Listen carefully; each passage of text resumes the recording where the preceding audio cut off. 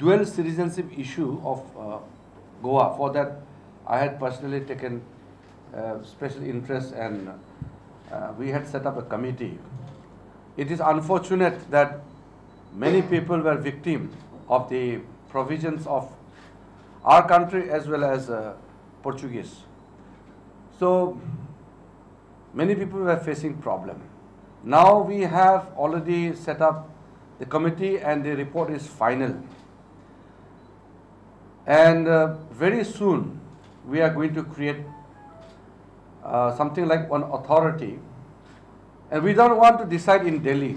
It should be decided in Goa.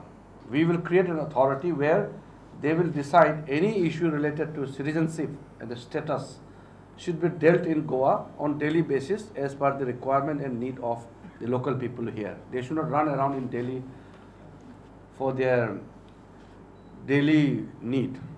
The security along the coastal line by establishing various uh, marine police stations and creating a very robust system we have put in place. So it is much more secured. And recently while I was coming, we have already uh, sanctioned four, uh, four big boats, uh, 12 ton boats, each will cost uh, 4 crore each. Uh, so we will be giving four additional special boats for Goa.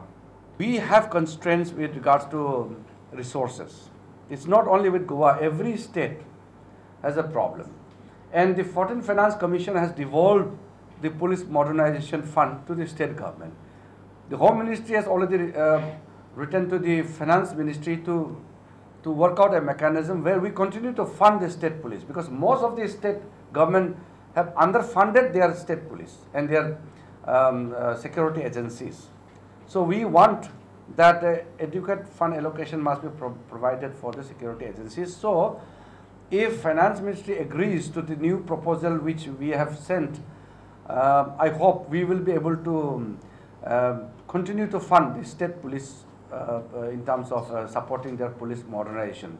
So the issues which you raised about the gears and other equipments and kits and all, this should be taken care of. I'm very hopeful that something will come out.